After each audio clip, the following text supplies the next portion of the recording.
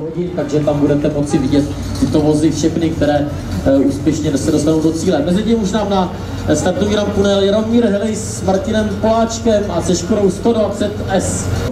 O to víc bude, budou mít posádky pro uh, předvádění smyku a dalších efektních průjezdů.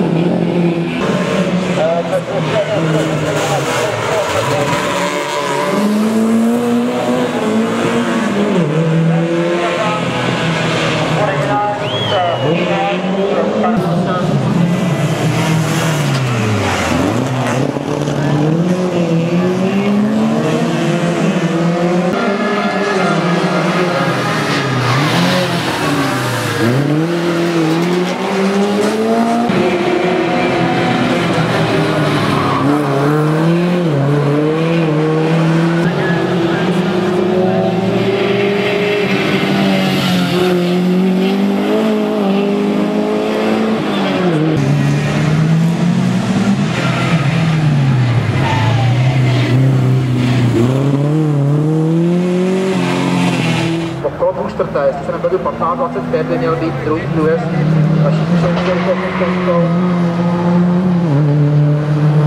Otázky na to, potom omlouvám se. 15.55 je poměrně